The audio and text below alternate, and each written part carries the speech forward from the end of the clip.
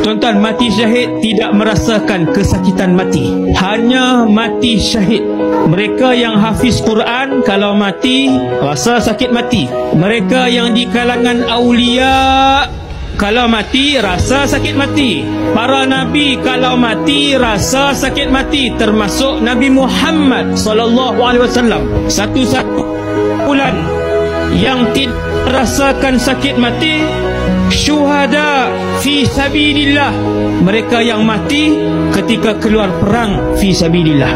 Bukan mati bergaduh sesama Islam mati berjihad fi sabilillah. Masuk perang mati syahid tidak merasakan kematian tidak merasakan azab kubur dan tidak masuk bahkan ke alam kubur. Orang yang mati syahid tidak masuk ke alam kubur tidak masuk ke alam barzah orang yang mati syahid sudahlah tidak rasa sakit mati sudahlah tidak dikenakan azab kubur tidak duduk di alam barzah terus dibawa ke dalam syurga tetapi bukan dengan rupa manusia. Tetapi belum boleh tengok belum boleh makan makanan syurga. Belum boleh naik kenderaan syurga.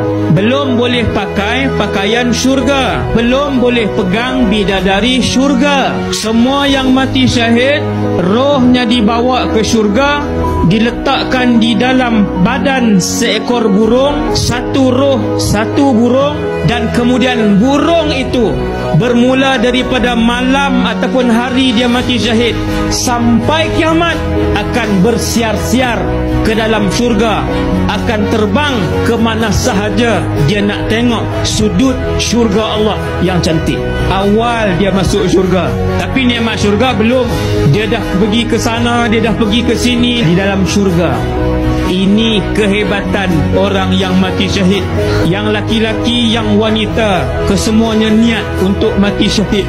Kerana kelebihan orang yang mati syahid Dia boleh pilih 70 ahli keluarganya Untuk dibawa masuk ke dalam syurga Dengan syarat ahli keluarganya Adalah mereka yang masih menyebut La ilaha illallah Muhammadur Rasulullah.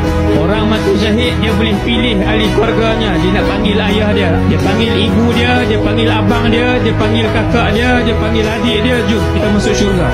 Sebab saya mati syahid Dulu berperang bersama-sama dengan Al-Imamul Mahdi. Saya tu bukan saya Maksudnya orang tu.